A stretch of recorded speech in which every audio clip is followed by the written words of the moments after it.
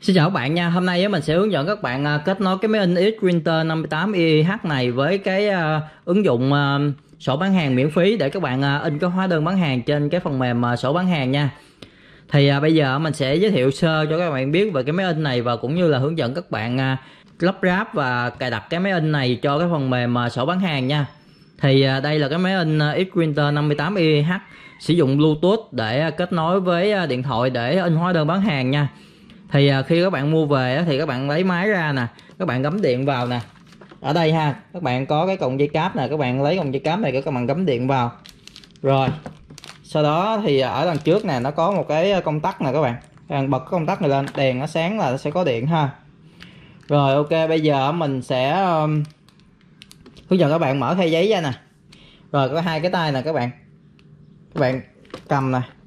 Rồi các bạn gị nó lên là nó sẽ lên ha còn cái giấy in đó thì các bạn bỏ như thế này ha cái giấy thì các bạn để về chiều của các bạn xong rồi các bạn bỏ xuống rồi các bạn để một lồi một khúc giấy ra nha rồi các bạn đóng nắp lại rồi ok bây giờ mình sẽ hướng dẫn các bạn in test nha in ra cái tờ giấy test đó để các bạn biết được cái máy các bạn nó hoạt động tốt hay không nha rồi bây giờ các bạn tắt công tắc nè rồi một tay các bạn bấm giữ nút fit ha rồi các bạn bật công tắc lên nè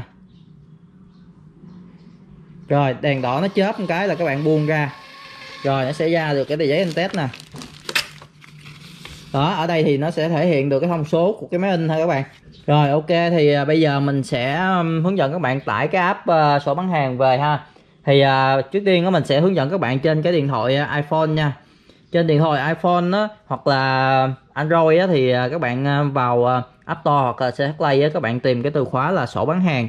Sau đó các bạn cài đặt vào nha rồi sau khi cái này đặt vào thì các bạn mở cái uh, ứng dụng ờ, sổ bán hàng lên các bạn được cái giao diện như thế này ha.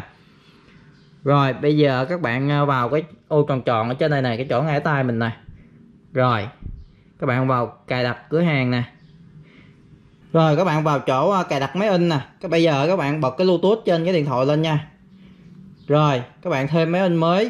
Các bạn đặt tên máy in. Đặt tên gì tùy ý nha các bạn. Rồi các bạn nhấn vào thì quét máy in nè tên của cái máy in này là Winter 001 nha các bạn các bạn bấm chọn nè. Đã kết nối nè. Rồi, hoàn thành ha. Rồi, ok, bây giờ mình sẽ ra ngoài mình lấy cái đơn mình in thử nha. Mình có cái đơn rồi, mình à, vào mình in thử thôi nha các bạn. Rồi, in hóa đơn.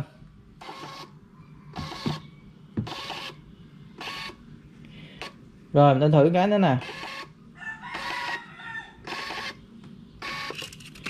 Rồi, đây là cái hóa đơn bán hàng mà nó vừa in ra nè các bạn. Ok, bây giờ mình sẽ hướng dẫn trên cái điện thoại à, android nha. Ok các bạn, thì à, bây giờ mình sẽ hướng dẫn trên cái điện thoại à, android nha. Thì trên điện thoại android thì các bạn vào ch play để các bạn tải cái phần mềm sổ bán hàng nha.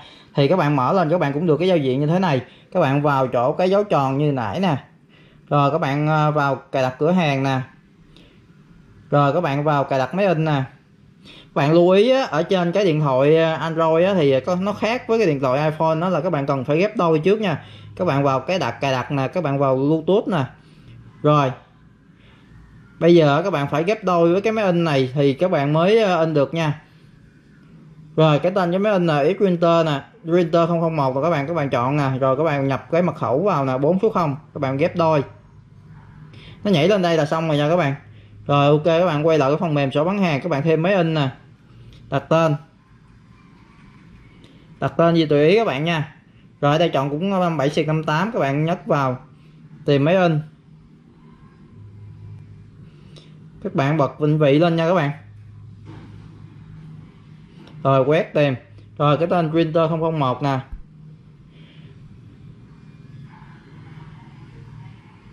Rồi, đã kết nối, hoàn thành.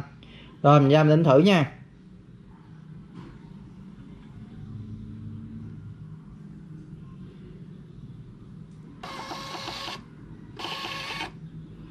Rồi anh trái nữa nè